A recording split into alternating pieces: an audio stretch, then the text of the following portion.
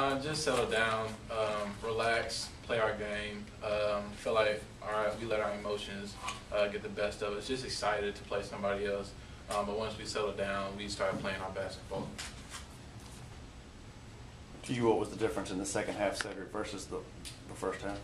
Just um, coming together as a team and just um, um, settling down, just playing our basketball, just relax.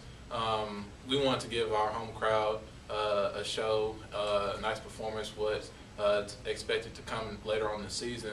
Um, and we, I feel like we just let our emotions, just the excitement, the atmosphere get the best of us. But uh, once we came together and settled down, we started to play our game.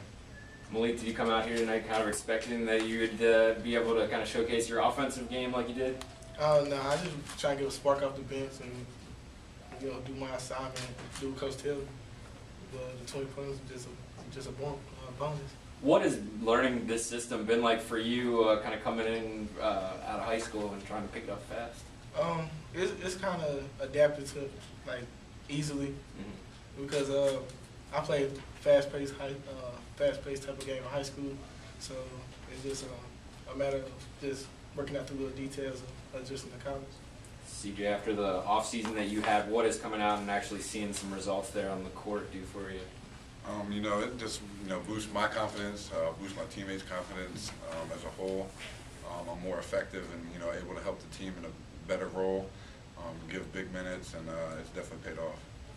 Said, what do you think this week is going to be like now? You kind of have this film, you have the Winthrop film, and you have some stuff to kind of clean up before kind of hits going. Um, we're just gonna come in and get better in certain areas.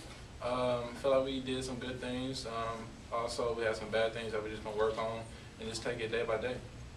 Malik, what, I mean, you guys were working with a short bench there. I guess what is it like trying to play this system with the seven guys, which was, you know, what you guys were doing for a stretch there in the seventh, second? Um, coach uh, prepared us well.